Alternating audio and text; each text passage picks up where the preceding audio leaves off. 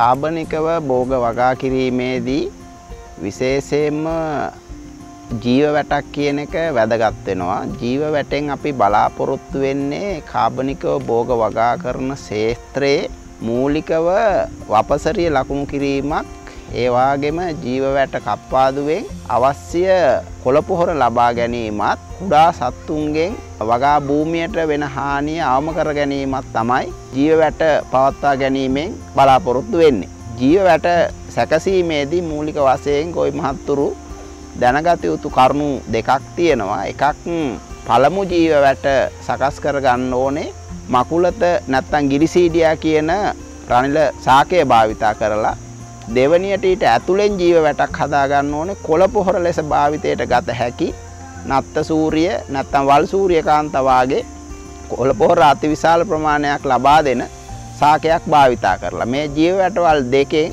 අපිට පුළුවන් අපේ ක්ෂේත්‍රයට අවශ්‍ය කොළ පොහොර ප්‍රමාණය ලබා ගන්න.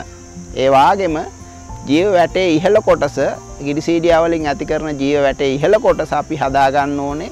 දලු ලබා ගන්න පුළුවන් විදිහටත් පහළ කොටස හදාගන්න ඕනේ දලු නොයන විදිහටත්. එනිසා අපි සාමාන්‍යයෙන් ජීව වැටක පහළ කොටසේ දිය ගැසූ හුණු ආලේප කරනවා ඒ කොටසේ අංකුර වර්ධනය වීම වැළැක්වීමට ඉහළ කොටසේ වියලීම වැළැක්වීම සඳහා උඩින් වැක්ස් කිරීම එහෙම නැත්නම් ඉටි තැවරීම හෝ හුඹස් මැටි වතුර සමග අනා ආලේප කර ඉහළ කොටස ආවරණය කිරීමක් සිදු කරනවා. මේ ක්‍රියාවලියෙන් බලාපොරොත්තු වෙන්නේ සක්‍රීය ජීව වැටක් නිස්පාදනය කර ගැනීම. ජීව වැට භාවිතා කිරීමේදී ගොවි මහත්තයා වැදගත් කරුණක් විදිහට අපිට වැදගත් වෙන්නේ කප්පාදු කිරීම. මේ ජීව වැට කප්පාදු කිරීමේදී මුළු කොළදාවම කප්පාදු කිරීම සිදු කරන්නේ නැහැ. ඒ කප්පාදු කරන්නේ ජීව වැටේ නඩත්තුව සඳහා එක අත්තක් පවත්වා ගනිමින්. එක අත්තක් පවත්වාගෙන ඉතිරි අතු කප්පාදු කර අවසන් කරන විශේෂයෙන්ම මේ කාර්ය කළ යුත්තේ වැසි කාලය තුල ඉන් පසු ජීවයට නැවත දළු දෑමේදී පරණ අත්ත කපා ඉවත් කර නැවත ජීවයට ප්‍රාණයක් දීම තමයි අදහස් කරන්නේ.